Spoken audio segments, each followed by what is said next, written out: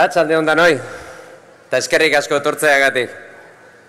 Kriston ilusia egitei, amen asteak egia esan, posa ematei, jakinik, baita eta jakinik batez ere Barzinak ere ez gaituela Europa nahi. Egia da, Barzinak ez gaitu nahi, Mariano Rajoik ere ez gaitu nahi, ba jakin bezatela han egongo garela.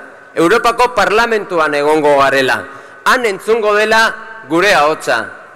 Eta hori lortzeko, gure botu independentista Europako parlamentura eramateko bidea gaur hasi da, hemen hasi da. Jakin bezatela gainera, gurea borrokarako kandidatura dela. Herrien eskubideen aldekoa, herritarren eskubideen aldekoa. Erabakitzeko eskubidearen aldekoa. Eta gurea hotza, inoiz baino zenago entzun dadin Europan, lanerako deia luzatzen dizuet ekin lanari, ekin gogor, herri ausos auso. Hoy iniciamos el camino que debe llevar a los independentistas de este país al Parlamento Europeo.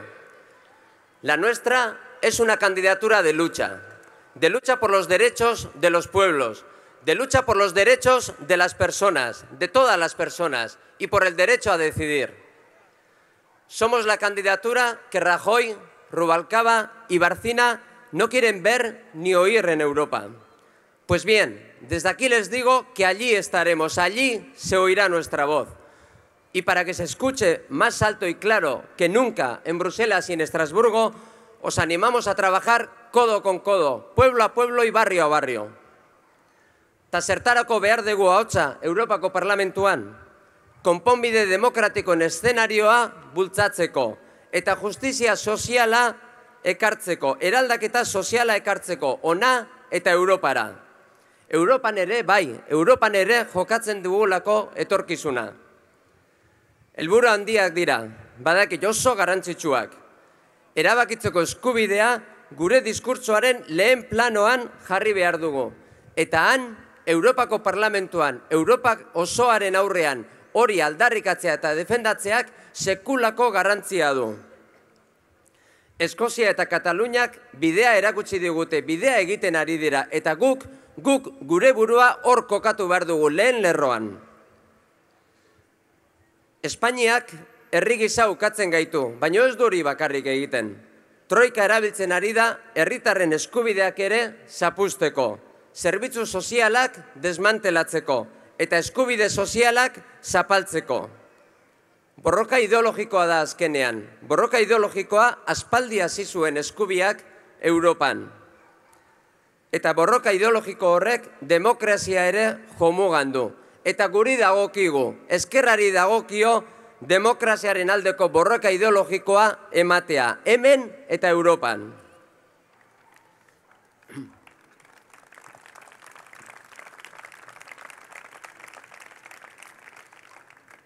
Euskal Herria Bildu ha situado como absoluta prioridad la lucha contra las consecuencias que todos y todas estamos pagando por el modelo que nos están imponiendo, por un modelo que simboliza la troika, pero que impone el Estado español y que también está siendo aplicado aquí.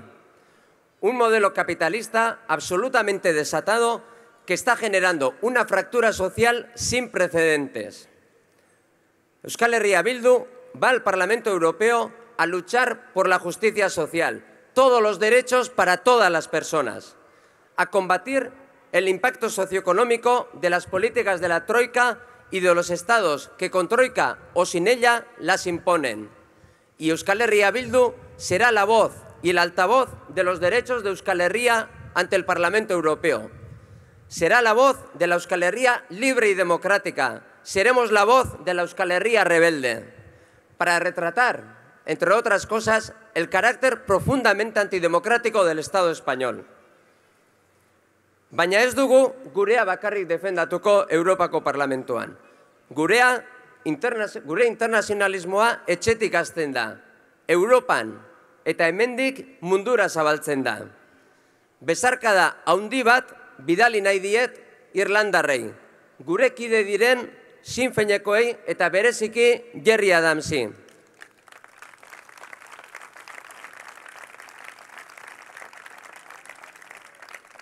Eta baita jakina, katalanei, eskoziarrei, galegoei, eta Saharako herriari, Palestinako herriari, Kolombiakoari denei.